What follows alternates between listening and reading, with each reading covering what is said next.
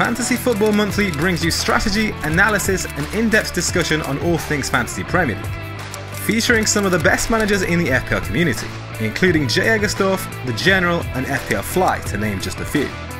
The digital magazine returns on the 17th of January, with 12 month subscriptions now available at the price of just £20, offering you two months free. Take advantage of this offer by clicking the link in the description box below.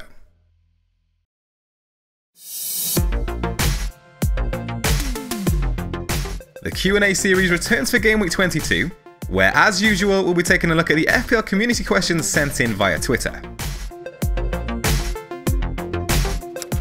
FPL 11 asks, is Martial worth keeping? Paul Pogba and Marcus Rashford have been in scintillating form under Solskjaer, so it's understandable that managers are looking to move on from Anthony Martial. Over the last four game weeks, the informed duo have returned 8 and 5 FPL goal involvements respectively, while the left winger has returned just one goal and one assist. Martial has, however, played one fewer game, which he reportedly missed due to illness, and still his total of 8 attempted assists in this period can only be bettered by Pogba's 10 amongst teammates. After his rest against Reading in the FA Cup, the 23 year old looks likely to keep his starting place against Spurs this weekend, and with 8 goals and 2 assists across his last 10 league starts, there's still reason to keep the faith for those who don't have an easy route to upgrade to Pogba. Roger asks, Sterling or Salah for the next five fixtures?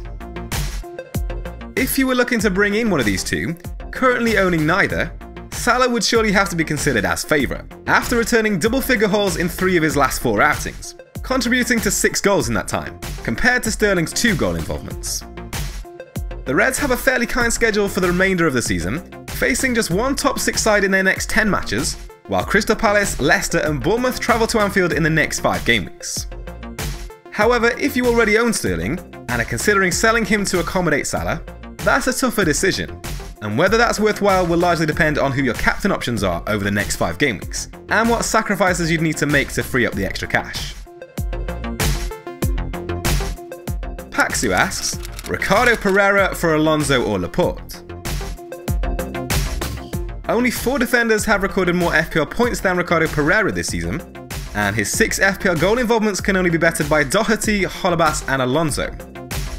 Seven efforts on target by the Leicester man ranks joint fifth amongst defenders, behind only Maguire, Duffy, Van Aanholt, and Doherty.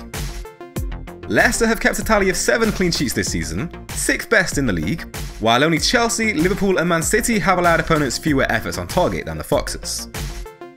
With just three matches against top six sides between now and game week 35 for Leicester, Pereira could be a strong pick in the long term for those looking to make a downgrade in defence to free up cash. Krishna asks, best option for Son? Heung-min Son has been in fine form recently, but he's set to leave for the Asian Cup after the meeting with Man United in Game Week 22, and could miss up to three league matches, depending on how far South Korea go in the tournament. If you're looking for a like-for-like -like replacement, Christian Eriksen could be the midfielder to jump onto. No Spurs player has provided more than his 32 attempted assists this season, beating Trippier with 24 and Kane with 20, while only Son has matched his total of 7 assists. Amongst midfielders, only Salah with 8 and Fraser, Sané, Sterling and Hazard with 9 have registered more assists this season. Or alternatively, Pogba and Richarlison remain strong midfield options below the premium price bracket.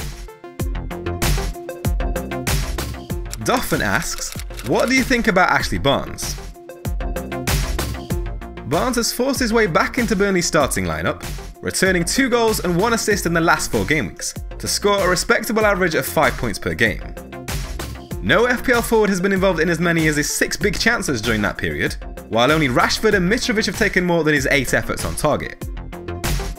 Two big chances created by the 29 year old puts him joint top amongst forwards, alongside Kane and Rashford.